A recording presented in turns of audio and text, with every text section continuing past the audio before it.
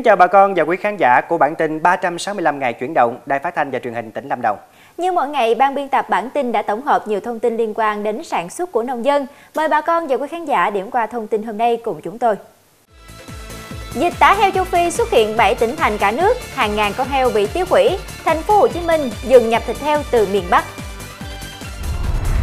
So với hai tuần trước, giá lúa tại đồng bằng sông Cửu Long tăng 500 đồng một ký, nông dân phấn khởi thu hoạch. Bên cạnh phát triển lúa đặc sản, Đạ Tẻ mở rộng vườn cây ăn trái, tăng thu nhập cho nông dân. Xây dựng nền nông nghiệp thông minh, Lâm Đồng chủ động hội nhập quốc tế trong sản xuất nông sản sạch.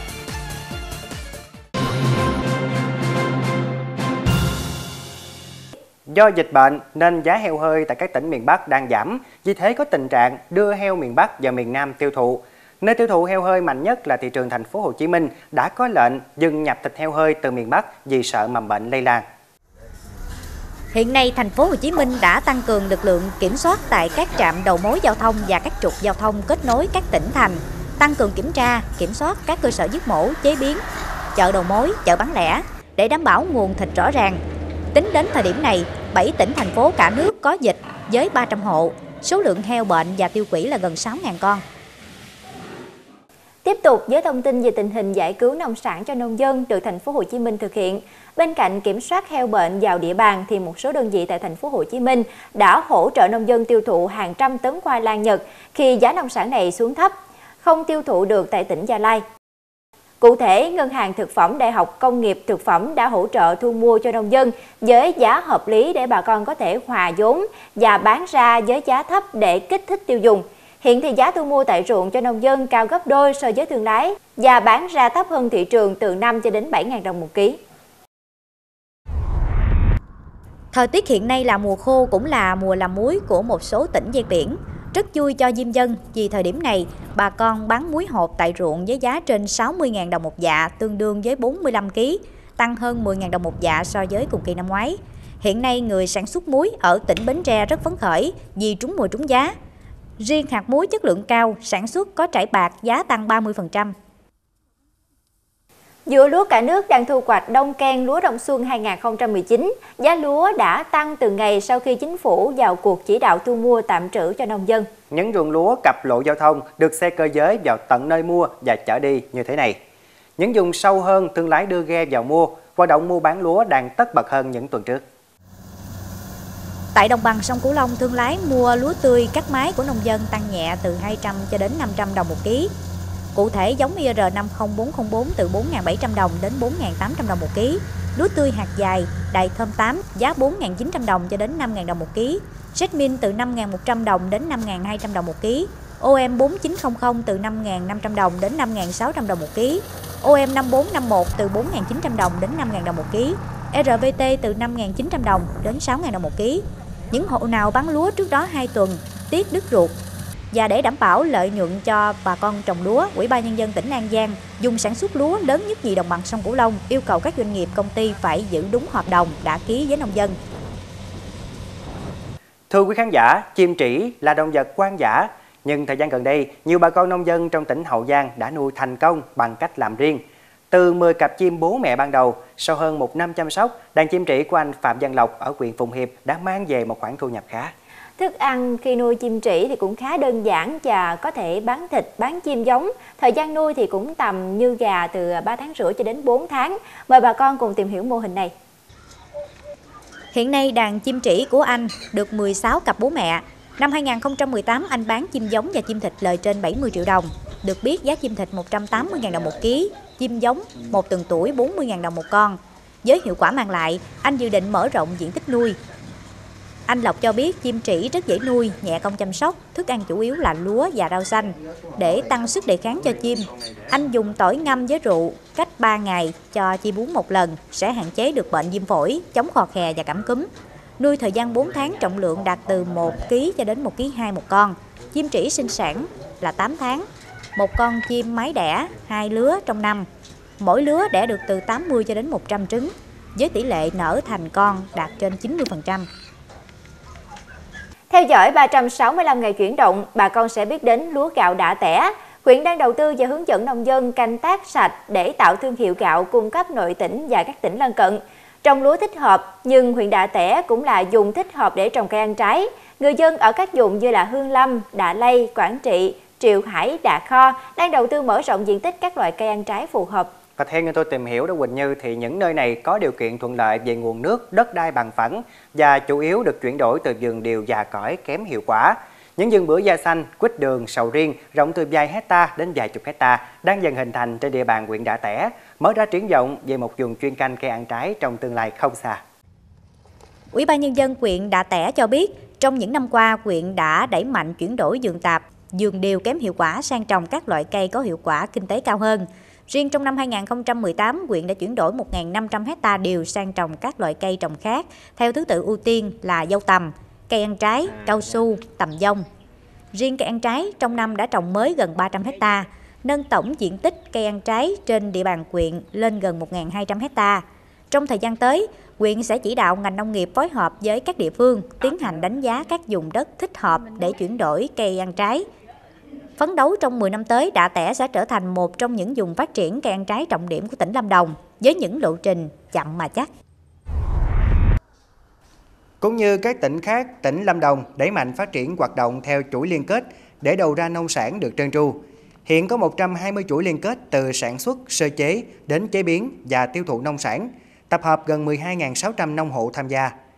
Về phía đối tác hợp đồng đầu tư liên kết với nông dân, gồm hơn 150 doanh nghiệp, hợp tác xã và tổ hợp tác. Hàng năm, hơn 60 chuỗi liên kết rau, củ, quả đã duy trì sản xuất ổn định hơn 2.540 hecta, đạt tổng sản lượng gần 186.500 tấn. Sản phẩm tiêu thụ theo chuỗi liên kết đã góp phần tăng giá trị thu nhập trên từng đơn vị diện tích đất cho nông dân Lâm Đồng. Tuy nhiên, theo Chi cục Quản lý Chất lượng Nông lâm sản và Thủy sản Lâm Đồng, kết quả này vẫn chưa phát huy hết tiềm năng lợi thế sản xuất của tỉnh Lâm Đồng. Cụ thể, những sản phẩm cây trồng chủ lực của tỉnh được tiêu thụ thông qua hợp đồng liên kết còn chiếm các tỷ lệ khá thấp. Hơn 17% với chè, 10% cà phê, 8,2% rau củ quả và gần 1,8% đối với hoa. Kính thưa bà con, tỉnh Lâm Đồng có mục tiêu rất rõ ràng trong phát triển kinh tế nông nghiệp với chủ đề hành động xây dựng nền nông nghiệp thông minh, hội nhập quốc tế, thích ứng với biến đổi khí hậu, nâng cao giá trị gia tăng và phát triển bền vững gắn với xây dựng nông thôn mới. Ngành nông nghiệp và phát triển nông thôn tỉnh Lâm Đồng xác định 6 nhiệm vụ trọng tâm của ngành nông nghiệp và phát triển nông thôn Lâm Đồng từ nay đến hết năm 2019.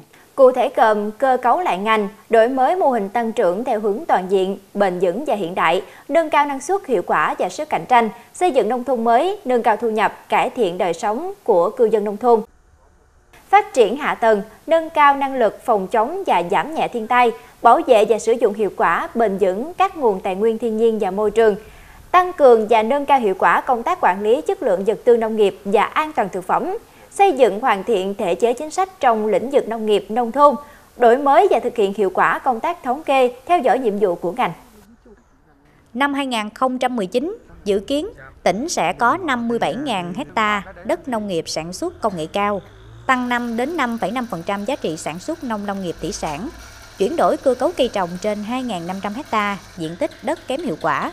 Riêng nhiệm vụ phát triển nông thôn ba quyện, Đạ Oai, Đạ Tẻ, Cát Tiên tiếp tục nâng cao hiệu quả hoạt động của hợp tác xã, tổ hợp tác trong liên kết sản xuất và tiêu thụ. Kính thưa bà con nông dân và quý khán giả, Huỳnh Như và anh Nhật Minh chưa nói đến việc khoai tây của Đà Lạt Lâm Đồng bị trà trộn đánh mất thương hiệu trong lòng người tiêu dùng thì khó khăn nữa ngay thực tại của người trồng khoai là dịch bệnh trên khoai tây đang là rào cản lớn. Hiện nay thời tiết có nhiều biến đổi so với trước đã làm ảnh hưởng đến việc đầu tư chăm sóc các loại cây trồng nói chung, nhất là đối với khoai tây do canh tác ngoài trời. Vậy, người nông dân gắn bó bao đời với khoai tây sẽ làm gì để vượt qua rào cản hiện nay, giữ vững thương hiệu và nâng cao thu nhập? Phóng viên 365 ngày chuyển động đã thực hiện phóng sự. Nhật Minh và Quỳnh Như mời bà con cùng tìm hiểu. Nhà nông này luôn ưu tiên áp dụng quy trình canh tác khoai tây tiên tiến vào thực tế sản xuất của gia đình mình nhằm không ngừng nâng cao năng suất và chất lượng nông sản cung ứng cho bạn hàng gần xa. Tuy nhiên, trăn trở lớn nhất hiện nay của ông là các loại sâu bệnh hại trên vườn khoai tây càng rõ nét, nhất là trong những thời điểm nắng mưa không thuận lợi. Cây khoai tây là rất quan trọng nhưng mà nói chung ra là mấy năm trước á thì thời tiết nha thì nó thuận chứ vừa qua mấy năm nay thời tiết nó nghịch tất nhiên là cây khoai tây người ở vùng đa quý đây người ta trồng nhất là đông xuân. Nhưng mà bây giờ đông xuân là tháng 11 vẫn còn mưa như vậy là cây khoai tây rất khó. Với vì trước là trời thuận thì là sau nó ít nhưng mà trời nghịch thì sau nó nhiều và nấm bệnh nó nhiều. Xã Xuân Thọ là địa bàn trồng các loại cây có củ như khoai tây, cà rốt, chủ lực của thành phố Đà Lạt. Trung bình mỗi năm, địa phương này canh tác gần 300 hecta khoai tây, trong đó chính vụ đông xuân, bà con địa phương canh tác chừng 200 hecta khoai tây, gần 100 hecta còn lại được canh tác trong vụ hè thu. Với giống khoai tây được canh tác chủ lực là BO3. Thời gian qua, bằng việc triển khai xây dựng nông thôn mới, hàng chục tổ hợp tác đã được hình thành. Nhờ đó mà nhiều thông tin liên quan đến sản xuất nông nghiệp nói chung, canh tác khoai tây nói riêng đã được nhà nông địa phương nắm bắt để điều chỉnh kế hoạch sản xuất phù hợp. Tuy nhiên, việc tìm đầu ra và bảo quản sau thu hoạch hiện vẫn còn là chuyện khó. Khó khăn thì cũng à, là những cái khó khăn chung về cái thị trường đầu ra, rồi khó khăn về những cái biến động của thời tiết, ví dụ như cao điểm mùa khô này khả năng là thiếu nước thì à, thì cái vấn đề về nước tưới thì nó cũng chưa được à, đảm bảo toàn bộ cái diện tích. À, cái năng suất của vụ đông xuân thì nó rất là đạt thì cái đầu ra thường thường nó à, tiêu thụ cũng không kịp á không kịp thì à, nông dân đôi khi là phải trữ lại trữ lại qua đến tháng 4, tháng 5, sang năm thì à, mới, mới bán mới hết được. Tại vì nông dân làm là làm theo tập tính. Với lại những cái công nghệ mà những cái nhà kho những cái cái cái, cái sâu thu hoạch kiến thức sâu thu hoạch đó, cũng còn hạn hẹp. Có thể giống là mình để giống bất cứ một cây gì cũng vậy. Sâu thu hoạch đó mà nếu như mình có được những cái điều kiện tốt á mình quản lý tốt á thì rất là an toàn còn nông dân bây giờ nói chung là bây giờ mình làm như vậy về mình chỉ biết đổ ra vàng thôi cách xử lý giống rồi thì cũng theo truyền thống rồi ờ, nhiệt độ rồi này nọ kia mình không có quản lý sạch được Khoai tây là loại cây trồng truyền thống mang lại thu nhập cho nhiều nông hộ chuyên canh các loại rau củ quả trong tỉnh. Vì thế rất cần có thêm những tác động cần thiết giúp cho nông dân yên tâm đầu tư, góp phần tạo thêm nội lực để cây trồng lấy củ này ngày càng được đầu tư, căn cơ và hiệu quả. Như vậy là dịch bệnh đầu ra là những yếu tố luôn khiến cho nông dân đau đầu về cây trồng của mình. Để thuận tiện cho việc áp dụng đồng bộ quy trình kỹ thuật, trao đổi thông tin, tìm kiếm đầu ra, nhiều hình thức liên kết sản xuất đã được hình thành. Tham gia vào các hợp tác xã, tổ hợp tác, nông dân sẽ chia sẻ kinh nghiệm sản xuất với nhau. Ngành chức năng tập hợp nông dân hướng dẫn sản xuất khắc chế sâu bệnh hại. Đó là những gì mà ngành nông nghiệp Lâm Đồng đang nỗ lực cùng bà con. Cảm ơn bà con đã đón xem 365 ngày chuyển động. Chúng tôi xin kết thúc bản tin tại đây. Hẹn gặp lại trong bản tin ngày mai.